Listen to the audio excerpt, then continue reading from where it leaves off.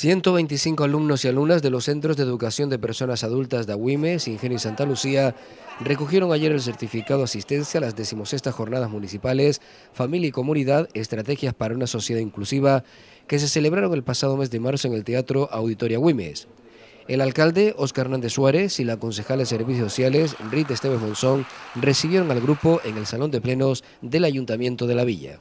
Un agradecimiento por el interés y la participación que estas personas adultas han mostrado para acudir a la jornada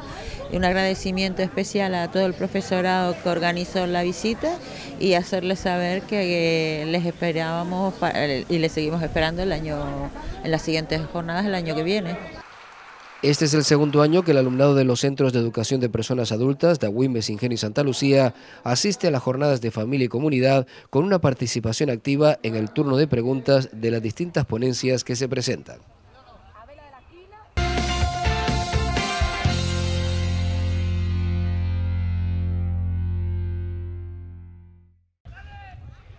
Con un partido amistoso entre una selección de jugadores que militan en equipos del municipio de Agüimes y otra formada por jugadores de conjuntos de tercera división y juvenil de la Unión Deportiva Las Palmas, ayer se inauguró el nuevo césped artificial del campo de fútbol de las Crucitas, ubicado en el casco de la villa. El partido fue dirigido por el Colegio de Árbitros del Sureste. En el acto de inauguración estuvieron presentes el alcalde Oscar Hernández Suárez, el concejal de Deportes David Navarro Cabrera, representantes de la Federación de Fútbol de Las Palmas, directivos y presidentes del Club de Fútbol Unión Agüimes, así como la cadena de filiales, familiares y amistades de los deportistas. Esta actuación forma parte del programa de obras de mejoras en las diferentes instalaciones deportivas del municipio puesto en marcha por el Ayuntamiento de Agüimes, con el objetivo de que los vecinos y vecinas puedan disfrutar de unas infraestructuras actuales y modernas. El Ayuntamiento ha hecho un esfuerzo, como todos ustedes saben,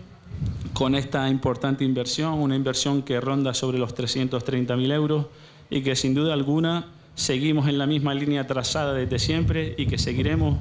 que no es otra que dotar de las mejores infraestructuras a nuestras instalaciones deportivas, no es otra que dotarlas de medios para que nuestros vecinos y vecinas pues, puedan disfrutar de, de, unas instalaciones en las mejores condiciones.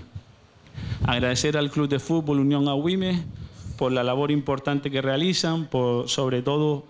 por, por la transmisión de valores durante tantos y tantos años. Vencidos en lo que decía David, que la inversión más importante es la inversión para la práctica deportiva. Los enamorados del deporte, los que me conocen de hace años saben que es una de las debilidades, porque estoy convencido que la, es la mejor, eh, el mejor mecanismo para, la, para el desarrollo psicosocial. Por lo tanto, a disfrutarlo, a cuidarlo. La sustitución del césped artificial del campo de fútbol de las Crucitas se tuvo que acometer debido al deterioro que presentaba el anterior, con una antigüedad de más de 20 años. El nuevo césped instalado es de última generación y de mayor calidad que el anterior. Parte del césped en retirado se colocó en los laterales para que los equipos puedan realizar los calentamientos. El proyecto continuó con la sustitución de la red de distribución de agua y los grupos de presión, así como de las porterías.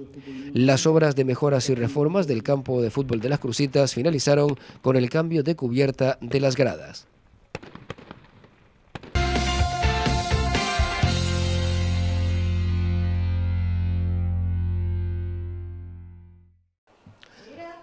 Todos los miércoles, la perra Edna y su cuidadora, Yaisa Macías Martín, visitan el Colegio 20 de enero de Arinaga, donde se desarrolla el proyecto nominado Perros y Letras, dirigido al alumnado con problemas de comprensión lectora.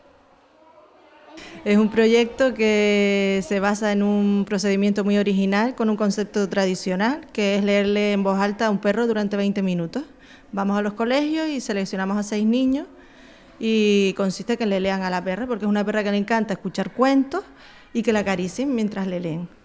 Sus cuentos favoritos son de animales y de perros y bueno, el niño elige lo que él quiera, la lectura que él quiera y se lo lee a la perra. Los niños y niñas que participan en este proyecto consiguen mejorar la seguridad en sí mismos, el vocabulario, las habilidades sociales, además de potenciar el respeto a los animales y la superación de miedos y fobias. Entonces miró Hemos visto que mejora mucho el interés por la lectura, las relaciones con los demás, porque son los protagonistas, de que son los amigos de la perra y los que presentan a la perra en su clase. En el municipio de Agüimes, la Asociación Perros y Letras desarrolla también este proyecto en el Centro de Educación Infantil, Primaria y Secundaria Nuestra Señora del Rosario, en el casco de la villa.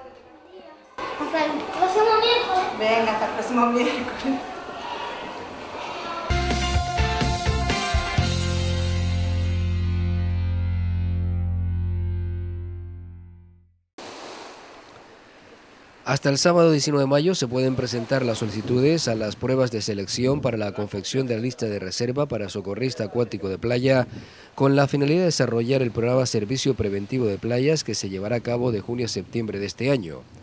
Las solicitudes, junto con la carta de pago por derechos de exámenes por una cuantía de 40 euros, se pueden entregar en cualquier administración pública y en el registro general de las oficinas municipales del Ayuntamiento de Agüimes. Los requisitos para poderse presentar a la selección para la lista de reserva de socorrista acuático de playa son título de graduado escolar, título de socorrismo acuático en playa, curso de ESA, desfibrilador externo semiautomático y permiso de conducir B, entre otros requisitos obligatorios. Se tendrá en cuenta para el cómputo de méritos estar en posesión del titulín de patrón de embarcación. Las personas interesadas pueden consultar las bases en la página web institucional www.awimes.es pinchando en la pestaña desplegable Ayuntamiento y seleccionando la opción Oferta de empleo público, la número 5.